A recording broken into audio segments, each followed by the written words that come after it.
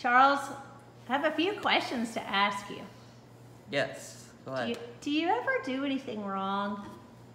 Actually, yes, I do. I'm not perfect, like Jesus. All of us are not perfect.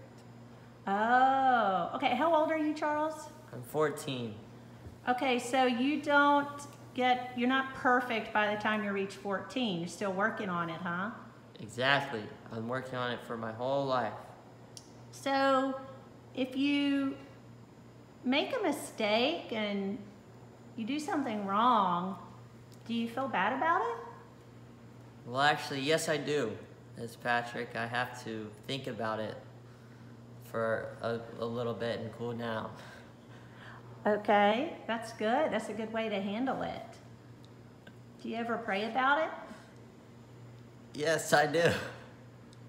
The sun is kind of bright. Want to turn this way?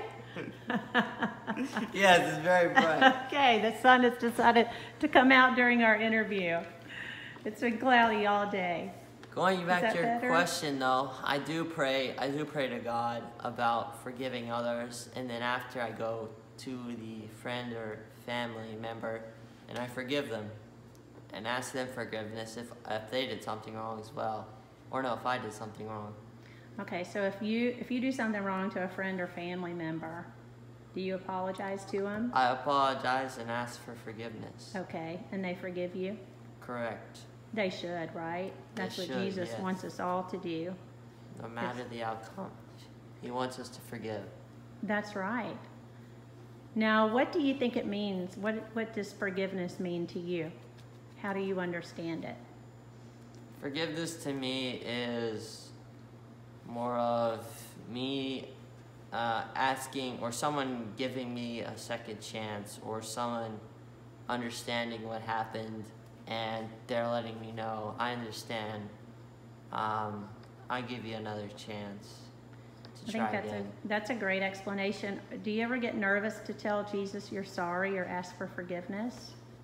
No, I should never because he doesn't like he's he's Jesus. He should he he cares about what we say, but he's not going to criticize us. That's right. That's right. So we have no reason to be afraid to tell him when we do something wrong. Correct. Plus, God knows everything, doesn't he? He's everywhere all the time. Yes, he is. Okay, Charles, thank you so much for the interview and talking to us today and reading us that great story. We, maybe you could bring some sunglasses to the next interview. All right, I will. Bye. Bye.